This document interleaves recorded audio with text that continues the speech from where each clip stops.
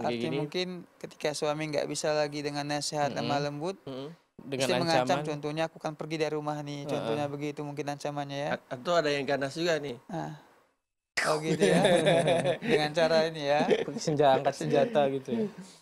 Ya tentunya ya kita lebih tahu dengan pasangan kita masing-masing. Iya. Kita lebih tahu Apalagi bagaimana sudah cara lama, ya. Iya. Kadang mungkin sebagian istri itu, Hmm. mungkin ya, ini kita masalah suami istri. Tidak bisa dia itu merubah sikapnya kecuali suami mengancam akan menceraikannya. Iya. Karena begitu. Aha. Karena suami bisa melihat ini istri ini nggak bisa dinasihat dengan lisan, dengan perbuatan Iya. atau apa.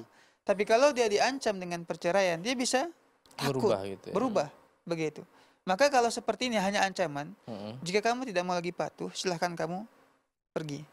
Kalau memang kamu nggak mau, Pak, bukan silahkan pergi artinya kalau kamu memang nggak mau lagi mentaatiku bersamaku, ya sudah, ya, insya Allah aku akan siap untuk melepasmu, Hmm. umpamanya, atau kita bercerai.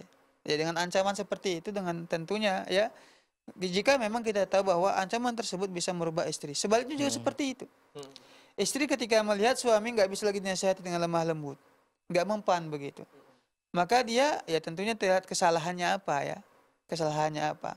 Iya. Ya maka dia boleh ya juga dengan cara mengancam.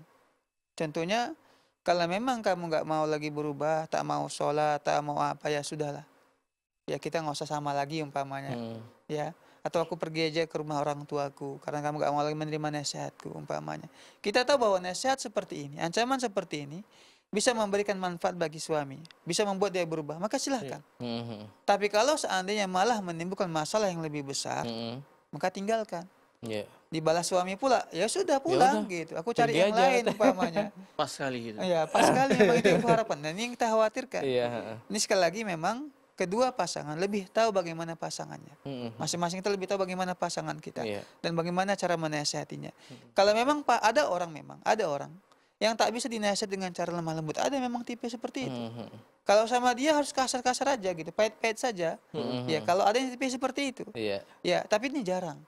Ini jarang. Kita lebih tahu lagi bagaimana pasangan kita, terutama wanita itu